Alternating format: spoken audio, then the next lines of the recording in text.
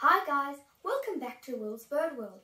In this video, I will be telling you why candles and some scents are bad for your bird. Do not use any type of scented oils in candles around your bird because this is toxic to birds.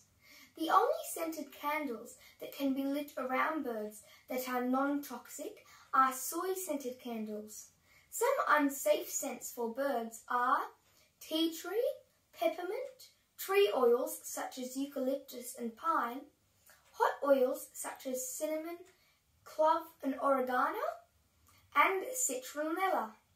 Also, you should never use Teflon or any kind of coatings on your cooking pans because this is toxic for your birds. Don't forget to check out Will's Bird World website. Smash that like button and subscribe and I'll see you next time.